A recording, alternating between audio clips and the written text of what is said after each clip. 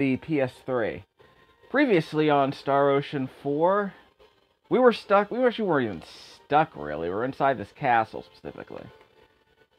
Let's see. Alanair Citadel. Okay. This is actually a, this actually isn't too bad. We spent a bunch of time here uh, just grinding. I don't think I showed you that many videos from here, and I probably should have done that. I'll show you some more combat a bit later, because I had a lot of fun getting used to Lymle, our battle mage girl. I mean, she's like, what, eight? Know how old she is. But we spent a lot of time in this area just leveling up these characters. In fact, let me just show you down here. And we spent a bunch of time inverting these pyramids that were blocking our paths, and eventually we opened up new areas of the dungeon, or the citadel, excuse me. Over there on the right-hand side of the screen, you know, east of where we are, that was the restoration sphere.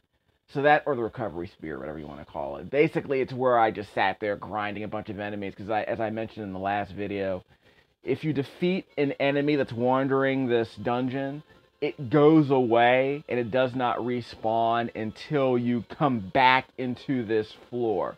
So if you go through any of those blue crosses you see to the right of me, or I want to say it's going to respawn right now. Yeah, there's an enemy. Yeah, there's an enemy over there. So those enemies that are, those enemies over there in the distance I already defeated earlier. But as soon as I go to another floor, or as soon as I leave this area and load up a new area by going through these blue crosses, then yeah, all the enemies respawn. But the idea is that if you sit there by that restoration sphere and just kind of slowly just defeat enemy mobs, you know, just defeat these enemies that are wandering around, they spawn mobs. You defeat the mobs, they disappear. You can run back to the sphere, recharge your energy, then go further away and defeat enemies further and further away from the sphere. So the idea is that you grind up and you can clear out enemies by going back to that sphere, leveling up, rest- restoring all of your health and your MP, and then working your way out towards your destination, which is what I did here.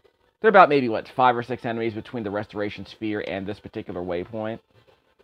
And once I go to the next floor, I can reach the save point. So here, there's a save point, obviously, because there's a boss behind that door. You know how this works. so I guess before I start the fight, I should probably mention a few things about Lymle. In fact, let me uh, play as her for a second characters, tactics. Okay, we'll make her my leader. Actually, no, I don't want to do that, because I already... Where's all my MP? Let me confirm all my MP is good. So I guess I'll use Lymle later. Okay, yeah, looks like... Yeah, I recharged everything. Yeah, so what happens is I defeated all the enemies, went back to the Restoration Sphere, came all the way back here, and now I'm completely full. I will mention this. Actually, yeah, I can just reload my game save. That's fine. So I'll just go down here and show you a few things with Lymle. So I'll fight an enemy down there, and I definitely had a lot of fun with Lymle because I think the moment when the battle system really sunk in for me is when I was switching to the Lymle character and was able to make use of some of her battle skills. Specifically this one. Uh, hatchet Reel. Summon a Cerberus to perform a devastating, devastating spin attack on enemies. As you'll see once I get into combat, it's basically it's like it's sort of a light homing missile. She summons some she summons some, you know, some spirit that essentially does like a shows like a fiery boulder attack on enemies. Hits for like seven or hits for like seven or eight hit combos, I guess you could say. Let's go into combat I'll show you that. Because one of the really fun things I had grinding was figuring out how to exploit that hatchet reel attack that she has. Snap to the L1 button, I believe. There we go. Okay, let's line everyone up. Press L2. There's your hatchet reel. There he goes. See? so he hits for like what eight or it's like eight or nine hits. So if you really line it up properly, you can you can basically take out everyone in this mob if you line it up properly. It's kind of hard to aim though. You have to kind of practice it. The fi- she has a fire attack mapped to the R2 button. In fact, I can go back and check that. Yeah, I'm keeping the uh, Japanese voice acting because the English voice acting actually kind of yeah, whatever. We'll keep the Japanese voice acting here. Okay, so let me show you this. Let me show you that skill I unleashed right there. There we go. She has the hatchet reel. Hatchet reel is that Cerberus attack you saw me do. Basically, it jumps a few feet out in front of her, does a spinning attack on one enemy and just keeps going until it hits a wall which is pretty awesome because if you if you really aim it properly, you can it becomes an AOE attack that wipes out basically every enemy in its path. Does a lot of damage. Love having that. Uh, let's see what else. Yeah, she has a firebolt as well. I think as she leveled up, she earned a healing spell. There's also another spell she'll learn a few uh, levels from now. I think it's a. Is it a energy bolt or something? Or I think it might be ice needles. Anyway, she has a firebolt mapped to R2, and that hatchet reel attack is the fire is the fire dog attack. yeah, yeah. Insert Ren and Stimpy reference here. So let's see that a couple more times. I'll show you the fire attack she has as well. And we're gonna need this as we fight the boss. So I'm glad I'm able to make sense of it before we start it. This boss is kind of hard until you level up at least to level 10, I want to say.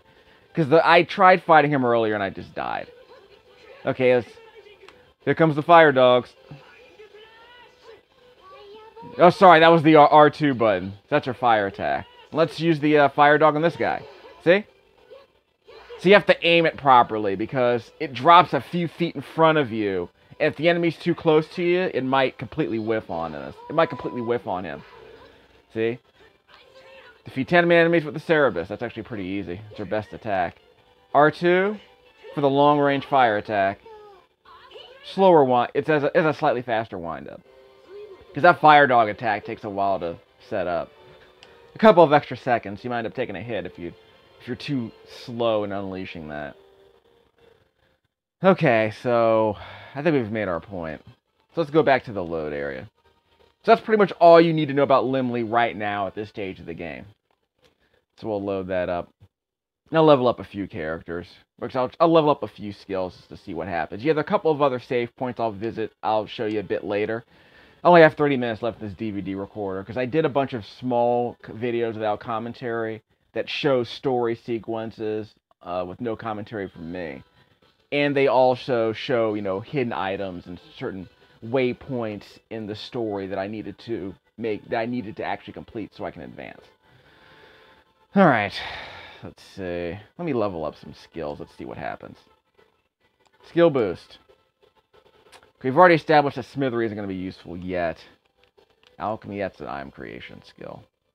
Treasure sense, don't have to worry about that. What's artistry? That's another item creation skill. Symbols, healing. 31. We can do fireball, it's 117. Okay, so let's do some practice. 117 to 182. Maybe. So you can double the strength of this one attack with by leveling it up three times. Which isn't bad. What about the healing? Three, two, three, three. Yeah. No reason to level that up. You know, it doesn't it doesn't get it doesn't get that much stronger over time. So never mind. Alright. We've made our point there. Let me do a quick check on something else. Hatchet reel. I want to say that doesn't get much stronger over time either. I'll go back and check. Okay, uh, whoops, switch. Okay, Smithery, Healing, Rising Blade. 20, yeah, we've already established this one doesn't go up very much. Rising Blade. 260, yeah, this one doesn't go up very much. Let's see about this one, 312, 326, 340, 353. Yeah, so, uh, that's not much of an upgrade, I'm afraid. I guess I was hoping it'd be worth a lot more.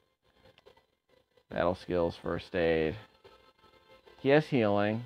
31, 32. Yeah, doesn't level up that much. Yeah, that one doesn't level up much at all. Okay, so that's the same for all of them. 260, 70, 80, 90. Nope. Let me try something. Party. Yeah, we've already established this one doesn't do very much. Not when you level up. So it'll be a while before I level that one up. Okay, Do-Re-Mi. Re-Mi, sorry. Sonic Thorn. She doesn't have much. Guess she doesn't level up that much.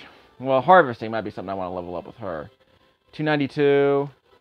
6. 3. Wow! Okay, that one I'm going to level up. so basically I need to level that up until it reaches 380. So that'll be useful.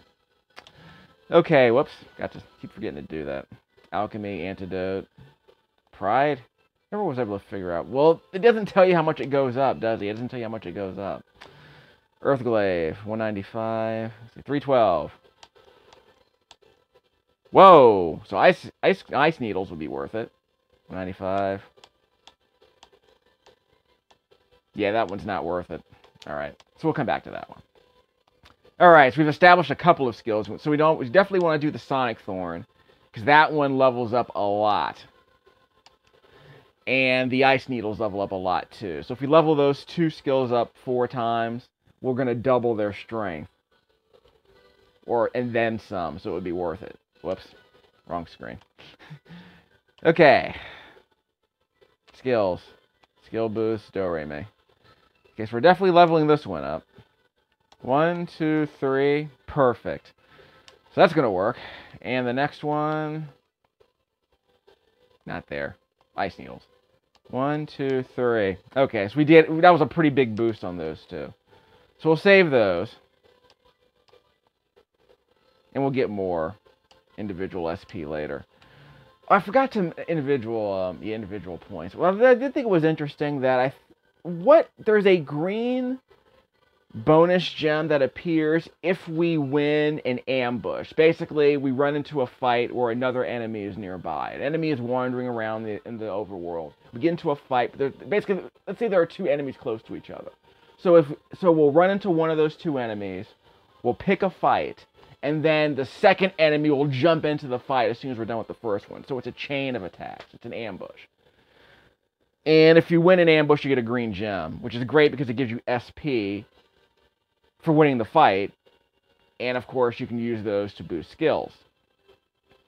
Uh, skill boost. And we're going to have to go all out against this guy. Okay, so I save that. So then the question is going to be, what other skills should I boost? Let me do a quick check.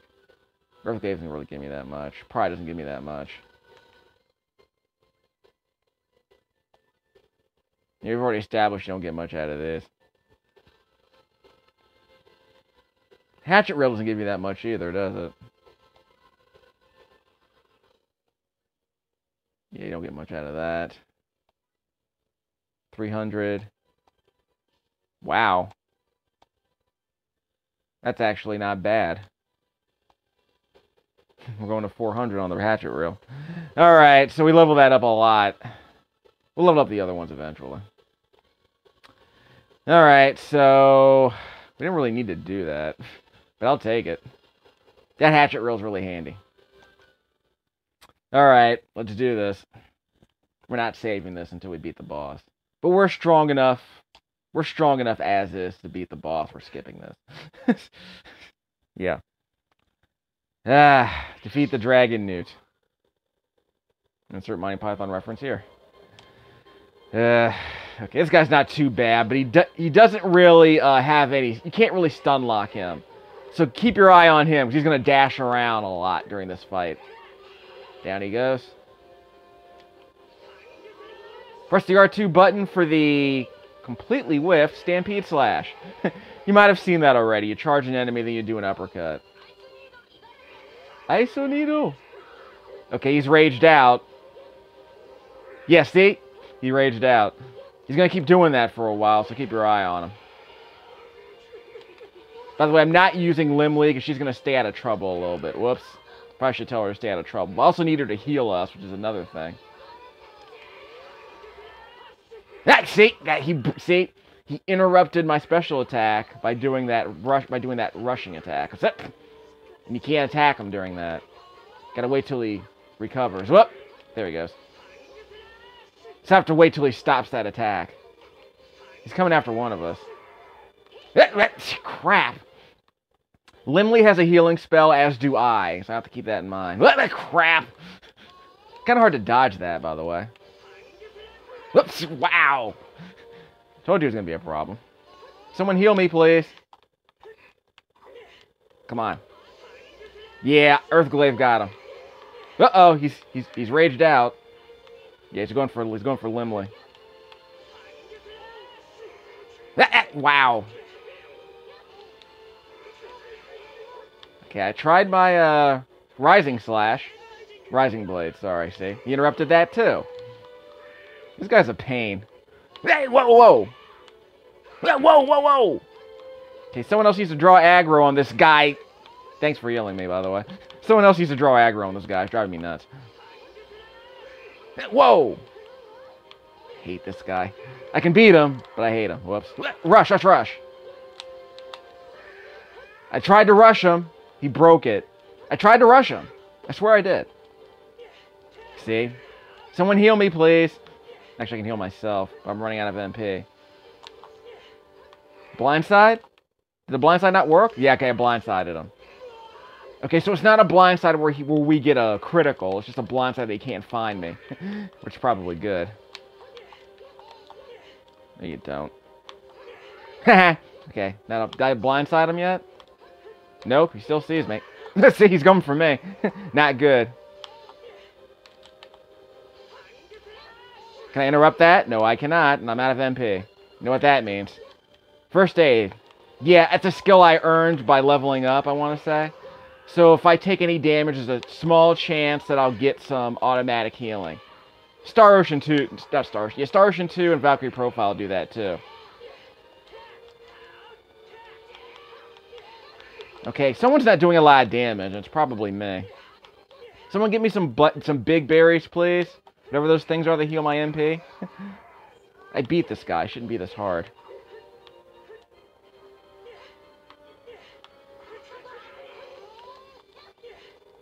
Whoa, okay. Got a problem. Come on. Kill him. Someone's not doing much damage, by the way. Ow, ow, ow. Sonic Thorn, please. We won. Finally. Someone got the final hit on him. Yeah, we're able to see how much damage he could do. I mean, we're able to see how much HP he had, so that helps. Support car. I don't know what the heck that is. well, I didn't say it was going to be easy. I just knew I, I just knew I was able to beat him before. That's all. well, not complaining. So now it's a bunch of storytelling nonsense. It's like a Power Ranger anime. yeah, he'll go nappy time. Like a German video game. He'll just he won't die, he'll just fall asleep. He's just tired. Very, very tired. Uh so when do we bail? I should probably save and then bail. Because why not? So I've made my point. Well, actually, there's another save spot outside of that room, right? Well, let's bank this. Yeah, inside the... Wait. Oh, crap. I saved I saved over. Gosh darn it. Well, I, I know how to get back there. I saved over my other thing. Gosh darn it. I should have done that. I saved over my most recent game save, no, because I wasn't paying attention.